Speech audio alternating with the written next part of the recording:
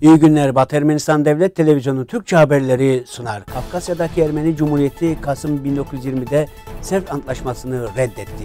Ermenistan Cumhuriyeti Cumhurbaşkanı Aram Haçadıryan'ın 115. yıl dönümüne adanan Ermenistan Filarmoni Orkestrası'nın Berlin'deki konserinde hazır bulundu.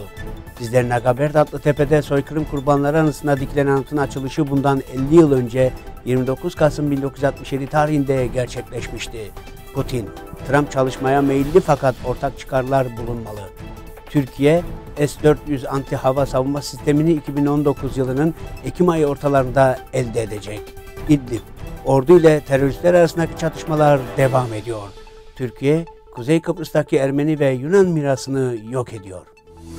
Sevr Antlaşması ve Amerika Birleşik Devletleri Başkanı Woodrow Wilson'un tahkim kararı pek çok Ermeni tarihçi ve politikacı, uzman ve diplomat için önemli bir zafer belgesi olmaya devam ediyor.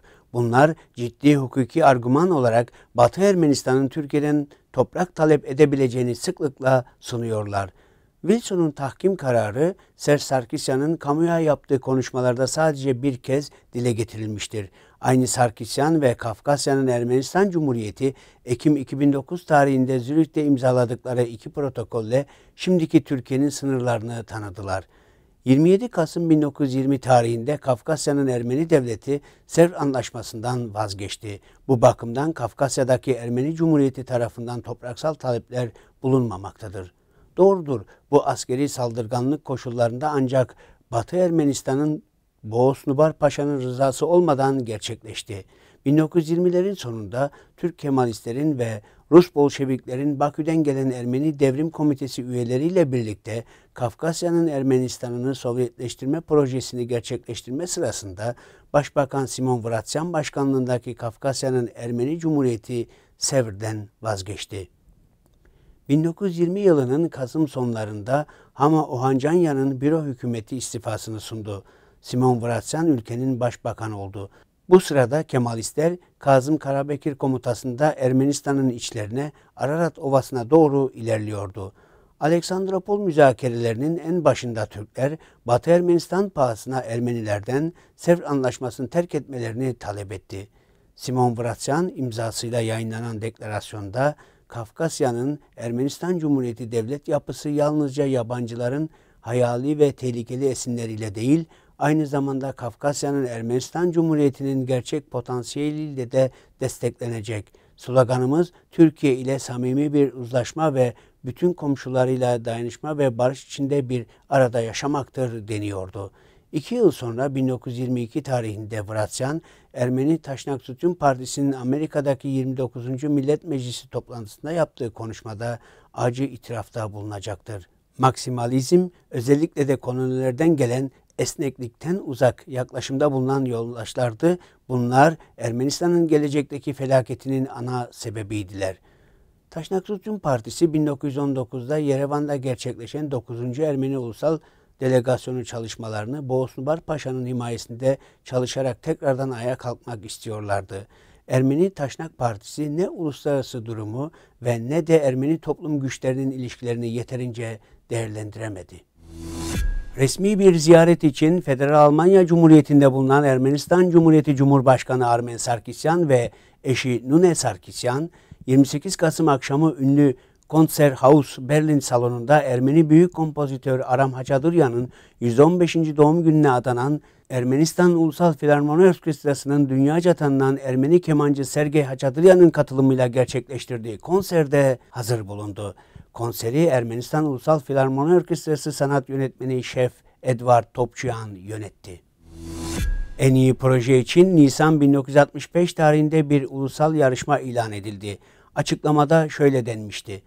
Anıt, yaratıcı Ermeni halkının mücadelelerle dolu hayatını, hayatta kalmasını, onun tükenmek bilmez yaşayabilirliğini, onun şimdiki ve parlak geleceğini ve 1915 yılında Ermenilere uygulanan soykırım şehitlerini sonsuzlaştırmalıdır. Zizler Nagapert adlı anıt kompleksi üç temel yapıdan edebi tapınak, yeniden doğan Ermenistan dikili taşı ve hatıra duvarından oluşmaktadır. Edebi tapınak içe eğik dairesel bir şeritte düzenlenmiş 12 taş lefalardan oluşmaktadır. 12 sayısı Batı Ermenistan'ın 12 büyük şehirlerini temsil etmektedir. 1967 yılından itibaren her 24 Nisan'da Ermenilere uygulanan soykırım kurbanlarını anmak için binlerce insan Zernagapert adlı anıt kompleksini ziyaret ediyor. Ziyaretçilerin sayısı yıldan yıla artmaktadır. RIA Novosti Ajansı'nın belirttiğine göre Rusya Devlet Başkanı Vladimir Putin, Rus Dış Ticaret Bankası'nın düzenlemiş olduğu Rusya Çağırıyor adlı forumda yaptığı konuşmada Amerika Birleşik Devletleri Başkanı Donald Trump'ın genel olarak çalışmaya olumlu yaklaştığını fakat ortak çıkarların bulunması gerektiğini ifade etti. Putin konuşmasında ne kadar ben hissediyorsam ki kendisi de bana bu konuda aynısını söyledi. Başkan Trump çalışmaya olumlu yaklaşıyor. Fakat ortak çıkarlar bulmalıyız ve bu bana değil diğer yönetime Amerika Birleşik Devletleri'nde herhangi bir konsensüs bulunmasına bağlı ki burada Amerikan eliti kendi iş ortaklarıyla benzer çalışmalar yürütsün dedi.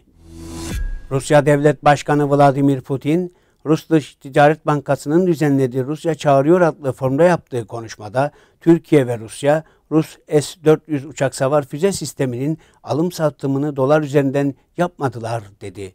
Putin, Türkiye ve Rusya arasında S-400 ile ilgili imzalanan askeri teknik alandaki bir sözleşmeyi size hatırlatmama izin verin.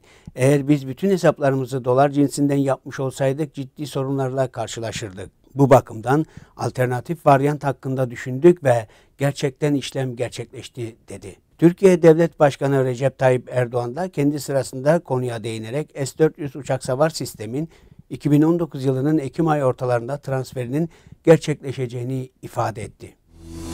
Suriye'nin İdlib şehrinin askerden arındırılmış bölgesinde düzenli ordu ile teröristler arasında çatışmalar devam ediyor. Astana'daki barış görüşmelerine rağmen Suriye hükümeti ve silahlı gruplar İdlib'in askerden arındırılmış bölgesinde askeri operasyonları durdurmadılar. Suriye ordusunun Muhrata'daki askeri üssünde iyi bilgilendirilmiş bir kaynağa göre düzenli ordu 28 Kasım çarşamba günü İdlib Hama ekseninin yakınındaki askerden arındırılmış bölgeye önemli bir güç bindirmeye çalışan terörist gruba saldırıda bulundu. Buna cevap olarak Caiş al-İzza grubuna ait teröristler Muhrata yakınında konuşlanmış Suriye ordusuna ait siperleri hedef aldı. Bu saldırılarda gerçekleştirilen pek çok bombalamaların sesleri güneydeki Hama şehrinden duyulabiliyordu. Sonuç olarak her iki tarafta öğleden sonra çatışmalar içerisindeydi. Bundan başka Hayat Tahrir al-Şam grubunun teröristleri Kıveyn al-Kabiri'nin güneyinde konuşlanmış Suriye ordusu siperlerine saldırıda bulundu. Suriye ordusu ve silahlı gruplar var olan şiddet için birbirlerini suçladı. Suriye ordusuna göre teröristlerin zaten 15 Ekim'e kadar İdlib'in askerden arındırılmış bölgesini terk etmesi gerekiyordu. Türk gazeteci Uzay Bulut'un belirttiğine göre Türkiye 40 yıldan bu yana işgal ettiği Kıbrıs topraklarındaki kültürel mirası yok ederek NATO üyeliğine devam etmekte ve Avrupa Birliği'ne girmeyi arzulamaktadır. Onun sözlerine göre Aziz Markos Kilisesi'nin 6. yüzyıldan kalma mozaiği 1974'teki Türkiye'nin Kıbrıs'a saldırısından sonra çalınmıştı ve şimdi Monaco'da bir dairede ele geçirilip Kıbrıs yönetimine teslim edildi.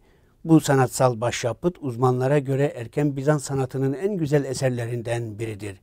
Kıbrıs'ın diğer pek çok kültür eserleri Türkler tarafından çalındı ve yurt dışında satıldı. 2012'de yayınlanan Medeniyetin Gerilemesi, işgal altındaki Kıbrıs kültür mirasının imhası raporunda Türkiye, Kıbrıs'a karşı iki uluslararası suç işledi. İstila etmek ve bağımsız bir Avrupa devletini bölerek adanın demografik yapısını değiştirmek, işgal altında tuttuğu bölgedeki kültürel mirası periyodik olarak yok etmek. Kıbrıs Cumhuriyeti 2004 yılından bu yana Avrupa Birliği üyesidir. Bu Ankara'nın işgal altındaki bölgeleri Türkleştirmeye ve orada varlığını süreklileştirmeye çalıştığının açık bir kanıtıdır. Raporda 1974'ten bu yana Türkiye'nin işgal altında tuttuğu bölgelerdeki tüm Yunan ve Hristiyan mirasını imha etmeye devam ediyor. 2015'te Amerika Birleşik Devletleri Kongresi Kütüphanesi'nde açıklanan raporda yukarıda belirtilen rapor verileri onandı. 2015'teki raporda bazı verilere göre Kıbrıs'ta 60 binden fazla kültürel anıtın çalındığı belirtilmektedir. 2016'daki Kıbrıs Cumhuriyeti Dışişleri Bakanlığı'nın raporuna göre ise işgal altındaki topraklarda bulunan 550'den fazla Yunan Ortodoks kilisesi ve mabetleri talana uğramış, bazıları ise imha edilmiştir. Pek çok Hristiyan kilise ve şapeller camiye, Türk askerlerinin üstüne ya da ambarlara dönüştürülmüş durumdadır. Bugün için bu kadarını öngördük. Şimdi size Bert adlı halk oyunları topluluğunun Haygazun adlı konserini sunuyoruz.